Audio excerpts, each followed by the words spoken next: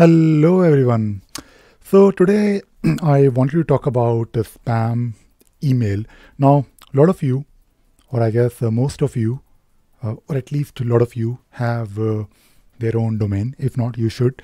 And uh, if you have your own domain, then uh, I think it is a good idea if you also configure emails that people can send you on your own domain's email address. It looks really good and uh, it is also a bit professional, and I think we all should do it.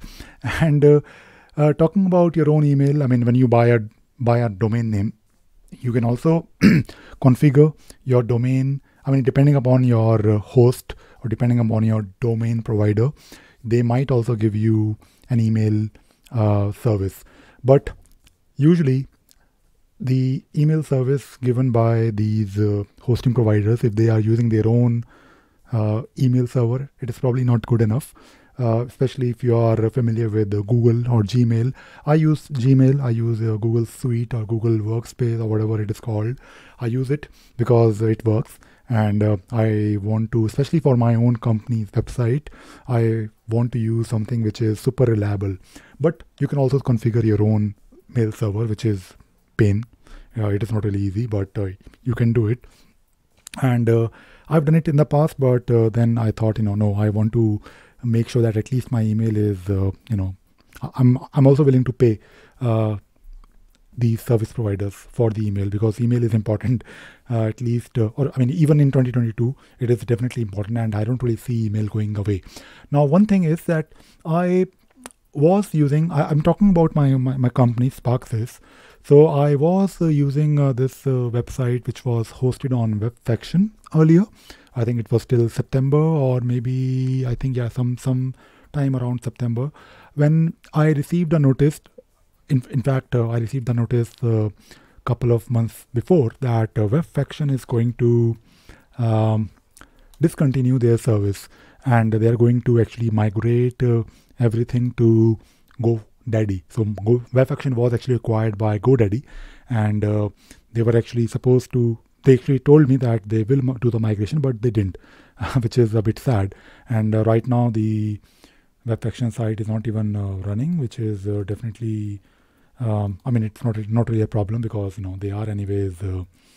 They are anyways you know not really doing any work and uh, they didn't migrate the the, the the sites that I was hosting with them. But what I did, I basically moved my site from from Webfaction to uh, VPS Dime, and VPS Dime is actually one hosting provider, a cheap hosting provider that I have been using for a long time, in fact. And I, I'm using their basic plan where they have this uh, four, not four, but uh, uh, basically they will give you 6 GB of RAM for uh, only seven dollar. I mean, to be honest, to be honest, it is actually quite quite cheap, and uh, it is. Uh, I mean, if you compare it with the other hosting providers, I'm not really sure if you can find something which is uh, cheaper than this. But at least, know, you're getting a lot of RAM, which is actually important for me. I initially bought this server from them long back, many years ago, for hosting my Jira instance because Jira usually consumes a lot of uh, RAM.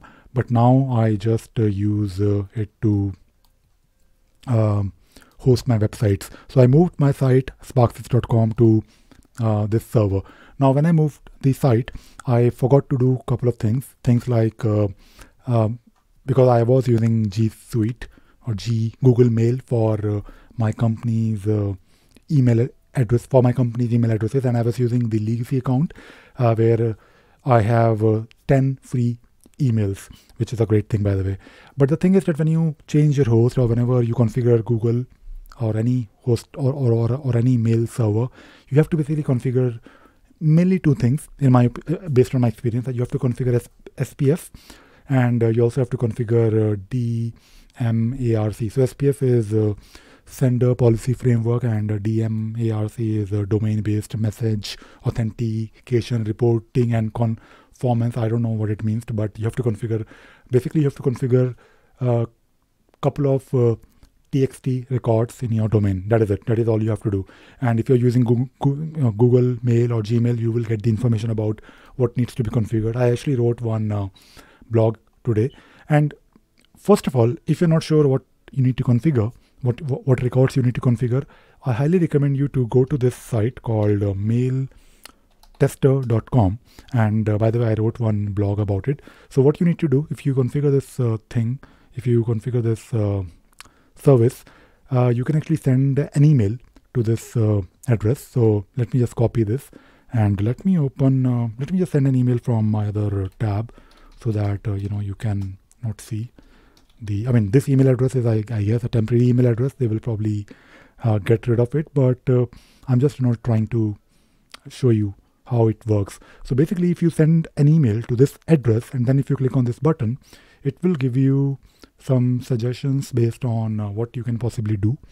Uh, if you are uh, maybe trying to uh, configure these SPF records or anything else. I mean, there are so many things that you might need to do but uh, you basically need to, to to make sure that uh, you are using uh, the right txt records. So I'll, for for this example, I'll probably use one of my other domain, and I'll send an email to this particular address and I'm just trying to log into one of my uh, one of my other account which is uh, ravi at uh, ravisagar.in and uh, let me just uh, send an email and uh, let me just click on this very quickly.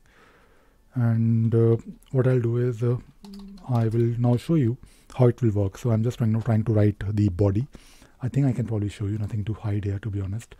Okay so let me just bring in the tab.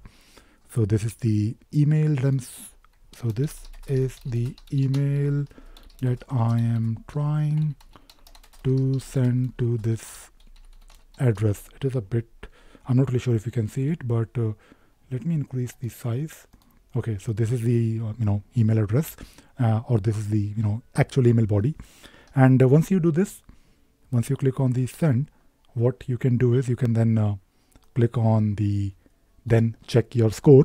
And it will do some you know it will check your it, it will check the inbox and it will basically try to identify some things that can be configured to improve whether uh, your your mail uh, needs any uh, come on. So basically it is uh, not a free service i guess i just used more than three today which is fine but i can show you i do have a screenshot. So let me show you what this will tell you. So basically if you do this you will get a score like this and uh, i think three is enough. I, th- I, think i don't really think you need to do it uh, like more than three times in a day.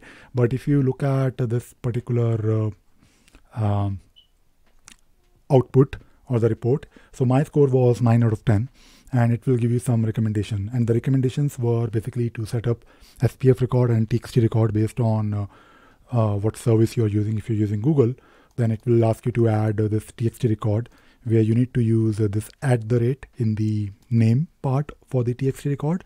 And for the value you have to use this string. And uh, you can also find this information if you go to your own um, mail server. I mean i guess you should be able to the, the main idea here is to identify this part i guess underscore spf dot google dot com uh, which is of course for g suite. And similarly you have to configure uh, a similar txt record for dm arc record and you have to use this string with the, um, domain with, with, the name in the txt i mean the, the, the value that you have to enter is this but the name is the dmarc and that is it.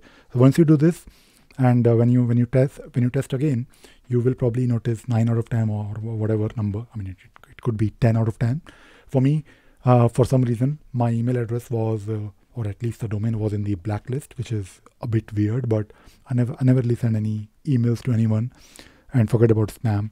So, but the thing is that you can actually, I mean, I mean, if you're not familiar with these things, you can actually find out very easily if you want. And I thought I'll probably share this with all of you today because this can be definitely um, super useful in case you want to uh, make sure that your mail is not really going to the spam because it is a bit annoying. And it has happened in the past.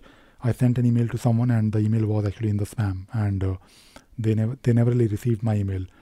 And it should not happen. Hopefully it, it will never happen to you, but uh, it can happen. And uh, this is a way to to improve it. And that is all. That is all I wanted to talk about today in this video. I hope you enjoyed watching this video and you learned something new today. Thank you very much. Bye bye.